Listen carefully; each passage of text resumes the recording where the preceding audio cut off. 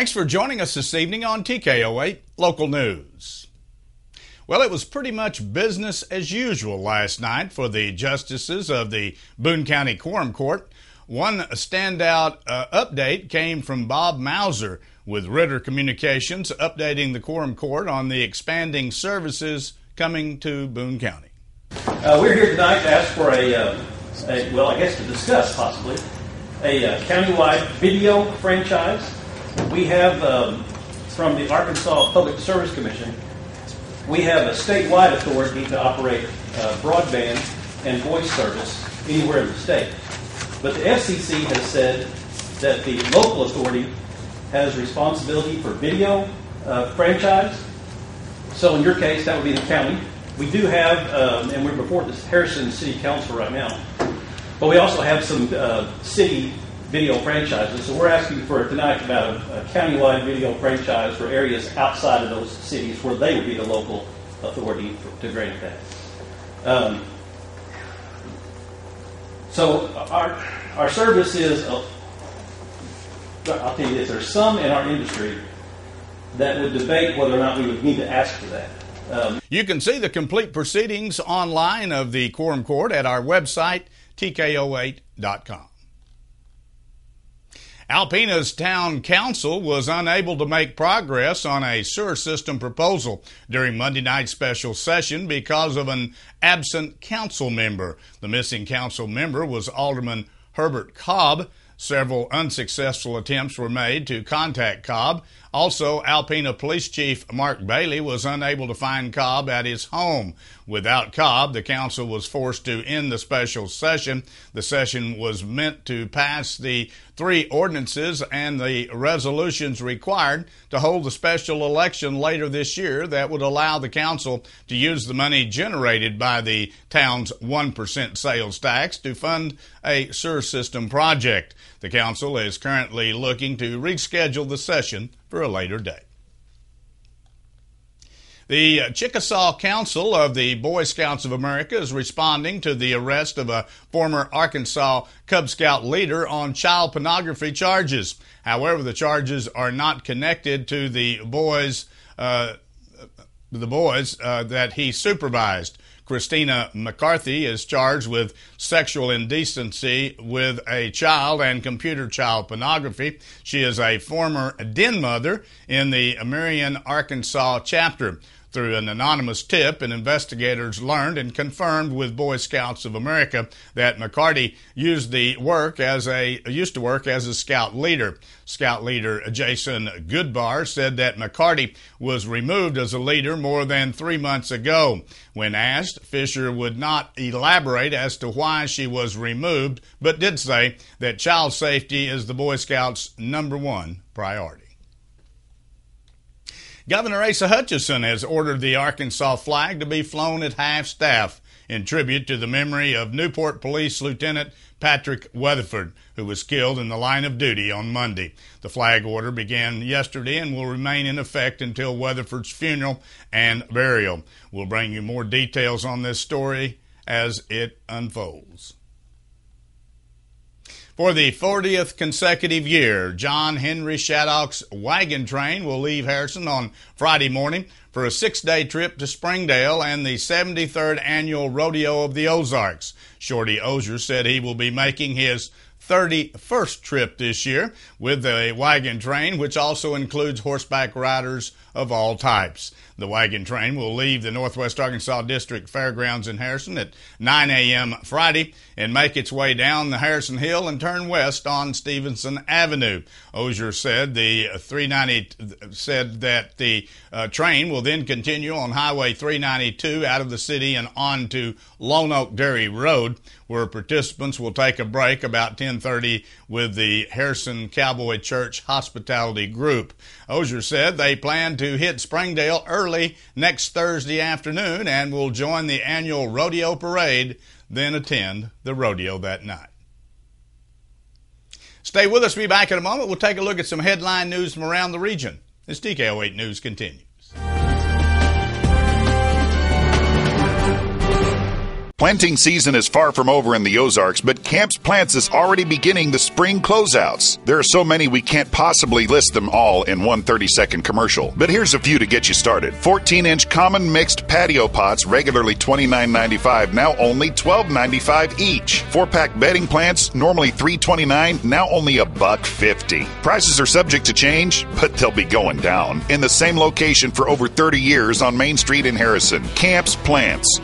Let's get dirty. The Townhouse Cafe in downtown Harrison is offering a great reason to wake up on Saturday mornings. Their incredible brunch. Starting at 7 a.m., you can enjoy all of your traditional breakfast favorites or some of these decadent dishes. Eggs Benedict, featuring an English muffin topped with ham, two eggs, made any way you like, and topped with fresh made hollandaise sauce. Plus, you'll also get your choice of hash browns or home fries perhaps something even more delectable. Townhouse Cafe's fabulous U.S. farm raised butterfly trout grilled with a drizzle of hollandaise sauce, two eggs any way you like, hash browns or home fries, and either a biscuit or toast on the side. Absolutely delicious.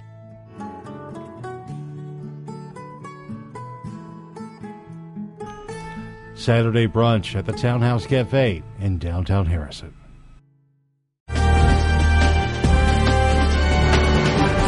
Arkansas State Police say an 18 year old suspect is being held in connection with the fatal shooting of a decorated police officer. State Police spokesperson Bill Sadler says charges have not yet been filed against the suspect who is being held on Monday's killing of 41 year old Newport Police Lieutenant Patrick Weatherford. Sadler says a few details will be released because the investigation is still ongoing. He says other people may be questioned in the shooting, but that there should be no fear in the community of further violence. Sadler says Weatherford was shot Monday night while responding to a call of a vehicle break in in Newport. A Central Arkansas woman has pled guilty to second degree murder in the fatal shooting of her husband last year. 31 year old LaShonda Renee Macon accepted a plea agreement Monday requiring her to spend 25 years in prison. Circuit Judge Charles Clawson said in uh, set an uh, August sentencing date, saying he wants more time to review the details of the January 2016 incident that led to 35-year-old Glenn Fred Macon's death. Court documents allege that Glenn Macon physically attacked LaShonda Macon while the couple was arguing. She says she took her phone when she tried to call the police, and LaShonda Macon told authorities she shot her husband once from her car after he took off walking down the street. She remains free on a $100,000 bond. Police say a five-year-old boy died after he was left a day, left in a daycare vehicle all day in eastern Arkansas. The uh, West Memphis Police Department say the boy was picked up by the daycare at 6:40 a.m. on Monday, but was never taken inside the Ascent Children's Health Services, which serves children with developmental disabilities. Police say that the boy was found dead, still strapped in a booster seat more than eight hours later when the staff members prepared to load the van for the children to go home.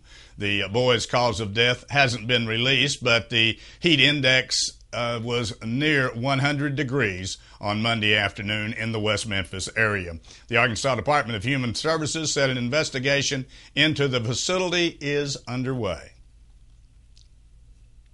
The herbicide dicamba has ruined about 100 acres of soybeans at a state funded agriculture experimental station in northeastern Arkansas. Northeast Research and Extension Center Director Chuck Wilson says the affected field will be uh, tilled and replanted. He says the damage was discovered Friday and that officials aren't certain where the herbicide originated from. The farm consists of 750 acres where the university's Science Research Center is set up in all aspects of farming uh, there, including effectiveness and potential uh, pitfalls of herbicides and pesticides, particularly on corn, cotton, rice, soybeans, and other crops.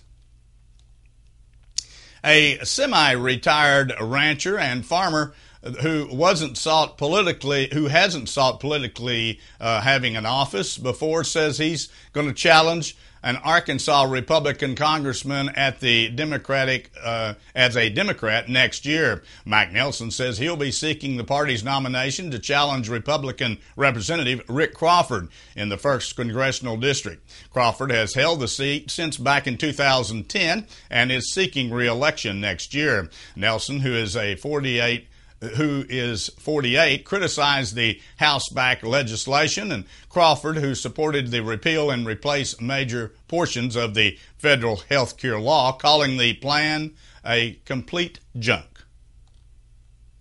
Before we take a look at the weather forecast as we move on through the work week, here's the way the stock market ended today.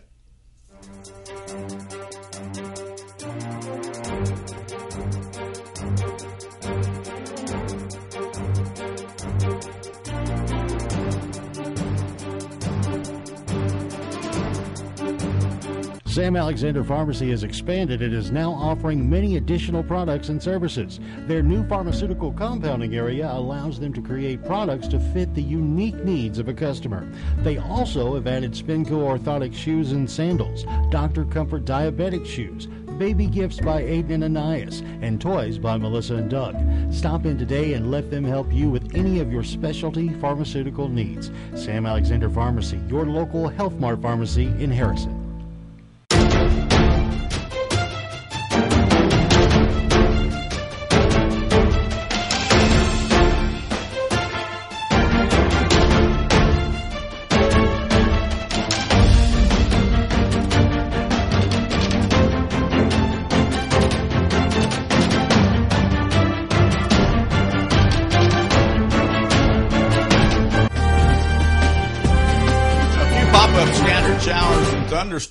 Around the state today. None of consistency, however. Uh, many of them uh, just lasting a few minutes, others a little longer. But again, this time of the year, once the humidity gets up there, that's when it generates the uh, uh heat indices necessary for those little thunder showers, if you will, in the viewing area. And that's what happened today. Here's the way it looks as we move through the work week. It's going to get downright hot for the next few days. And again, that will be uh, a situation where the thunder showers will pop up here and there. Uh, it was 88 degrees this afternoon, pretty humid day out there. Tomorrow looks to be even warmer, partly cloudy skies on Thursday and 90 degrees. Likewise, likewise for Friday, partly cloudy skies and 90 degrees. Even warmer on Saturday, partly cloudy skies and 94 degrees, maybe even warmer. And then on Sunday, Thunderstorms expected, particularly in the afternoon, slightly cooler, about 50% chance of rainfall in the afternoon, 86 degrees for a daytime high. And then we kick off the work week on Monday, sunny skies and 85 degrees. So get your uh, suntan lotion out and make sure you got a hat on if you're outside and drink lots of water. It's going to get hot. Stay with us. Be back in a moment. We'll take a look at sports from around the region as TKO8 News continues. My name is Nikki. I work at Dental Creations on the Square in Harrison, and I'm a dental assist. We're the first faces that the patients see. Um, we get them through the paperwork process, explain what's going on, and just let them know step by step what to expect, and you get to see them throughout the whole process. We want our patients to be happy, we want them to be comfortable, and that's really what it's about, getting the best results while making great relationships with people. Dental Creations on the Square in Harrison, next to the Big Red Boot. Sam Alexander Pharmacy has expanded and is now offering many additional products and services. Their new pharmaceutical compounding area allows them to create products to fit the unique needs of a customer. They also have added Spinco orthotic shoes and sandals, Dr. Comfort diabetic shoes, baby gifts by Aden and Anais, and toys by Melissa and Doug. Stop in today and let them help you with any of your specialty pharmaceutical needs. Sam Alexander Pharmacy, your local Health Mart pharmacy in Harrison. This is Josh from Harrison Battery and Tire. Lots of folks have been asking about roadside assistance, and now it's available. 24 hours a day, 7 days a week, we can quickly and efficiently take care of your tires and battery issues with one phone call. Professional, secure, comforting to get you back on the road. No matter what time, no matter what type of vehicle you drive, call for details at 870 741 7041. Harrison Battery and Tire on the curve of Main Street in Harrison, harrisonbatteryandtire.com. Big enough to serve, small enough to care. Well, the Harrison Big Macs took a trip down the road to Batesville and brought back a victory. The Big Macs earned a 12 to 7 win over the Batesville team on Monday afternoon. Harrison built an early lead and held off a Batesville surge for the win. Jake Morehouse got things going for the Big Macs in the second with a leadoff double into right field. Ozzie Sinlin sent a double of his own into right to score Morehouse for the first run of the ball game. Zach Still then scored Sinlin with a ground ball to make it a two to nothing Harrison lead. The Big Macs then added another two runs in the top of the third inning. Harrison then doubled its score in the top of the fifth with four runs. Batesville put three runs on the board in the bottom of the fifth, but Harrison would respond with another four in the top of the seventh. The Big Macs will next be, be in action on Tuesday as the team hosts Mountain Home for a doubleheader beginning at 5.30 p.m. at Jack's, Jack Williams Field.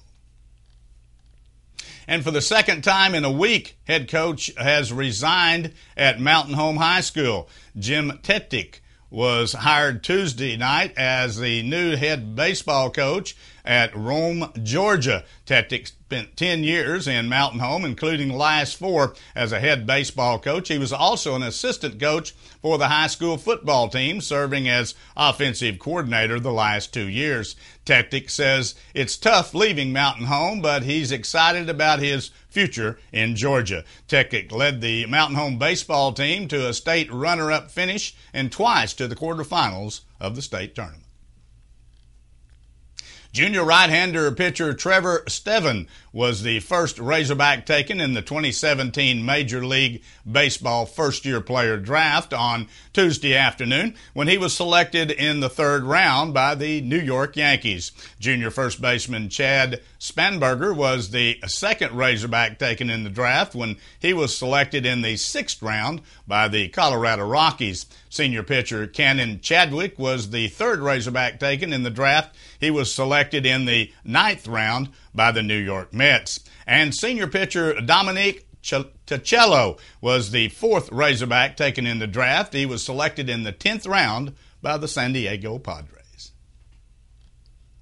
Keon Broxton and Travis Shaw each hit solo home runs and combined for five RBIs to help the Milwaukee Brewers beat the St. Louis Cardinals 8 to 5 and split their doubleheader on Tuesday. The Cardinals won the opener 6 to nothing behind Jose Martinez two home runs. In the nightcap, Shaw's eighth inning single against Trevor Rosenthal broke a 5-5 tie. Shaw, who was reinstated from the uh, Family Medical Emergency Program before the doubleheader, went 2 for 5 in the second game and drove in two runs. The teams resume their four game series tonight at Busch Stadium.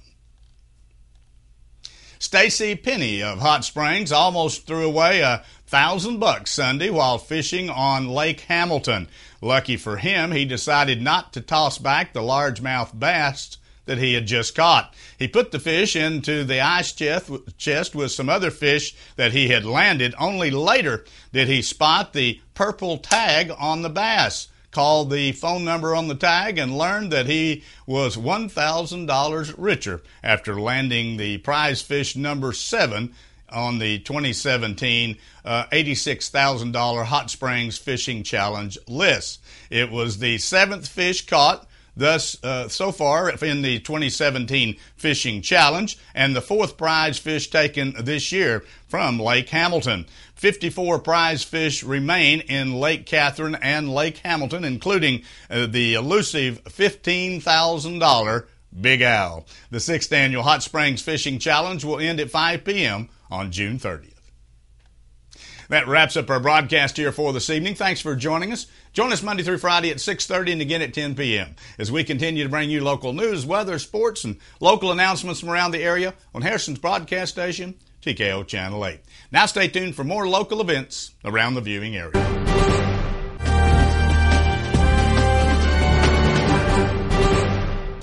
James MacGyver. Don't tell me you know how to make a bomb out of a stick of chewing gum. Why, you got some?